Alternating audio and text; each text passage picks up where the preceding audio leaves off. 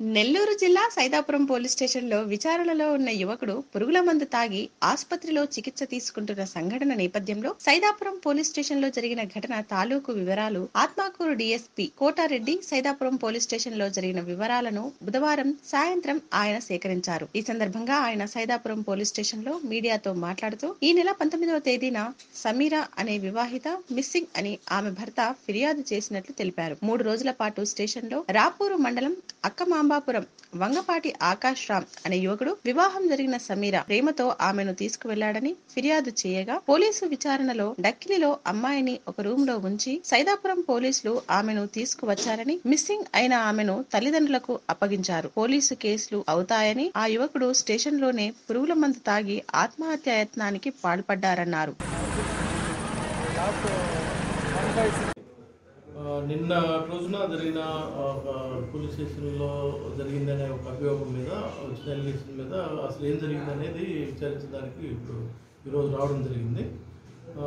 మాకు పంతొమ్మిదో తారీఖు ఈ నెల నైన్టీన్త్న ఒక లేడీ షమీరా అని ఆమె మ్యారీడ్ ఉమెన్ వాళ్ళ హస్బెండ్ మస్తాన్ అనే పోలీసులకు వచ్చి రిపోర్ట్ ఇవ్వడం జరిగింది మిస్సింగ్ అని.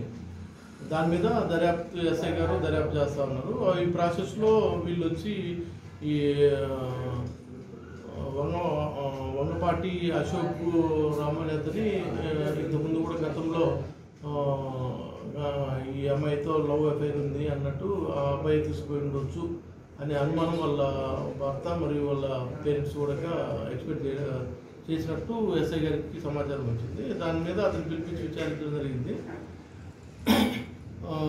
దాంట్లో భాగంగా ఇప్పుడు నిన్న రోజున అతని వేరే దఖిల్లో అమ్మాయిని రూమ్లో పెట్టున్నారు అనే దాని మీద మనోళ్ళకి ఇన్ఫర్మేషన్ మీద పోయి తీసుకుని రావడం కూడా జరిగింది ఆ పాపను ఆ షమీరా ఆ, షమీరాను. ఆ, దా ఆ ప్రాసెస్లో అతని కూడా ఈ ఎప్పుడైతే ఈరోజు నిన్న మధ్యాహ్నము ఈ పురుగు మందు తాగి ఆత్మహత్య చేసుకోబోయిండో. ఆకా ఆకాశ అతను కూడా ఇక్కడే పోలీస్ దగ్గరే ఉన్నాడు. దాని మీద ఈ పాప ఈ అమ్మాయి లవ్ ఉండి మళ్ళీ పోలీస్ కేసులు అవుతున్నాయని చెప్పేసి మాకున్న ప్రాథమిక సమాచారం ప్రకారము దాని మీద బాగా ఉమ్మిలేట్ అయ్యి మన భూమంది అయినట్టు సమాచారం ప్రాథమిక సమాచారం. దాని మీద అసలు వాస్తవాలు ఏం జరిగింది నిజ నిజ నిజాలు ఏంటి ఎవరు దీనికి ఏ- ఏం జరిగింది పోలీస్ స్టేషన్లో అనే దాన్ని విచారణతో ఈరోజు నేను రావడం జరిగింది. అది విచారిస్తున్నాం విచారించిన తర్వాత ఫ్యాక్ట్ ఎటువంటి అంటారు చేస్తాం. ఇప్పుడు ఆకాశ్ కూడా ఫస్ట్ ప్రిలిమినరీ ఇక్కడ చికిత్స చేసి తర్వాత ఇప్పుడు తిరుపతి స్విమ్స్లో ట్రీట్మెంట్ తీసుకుంటాము.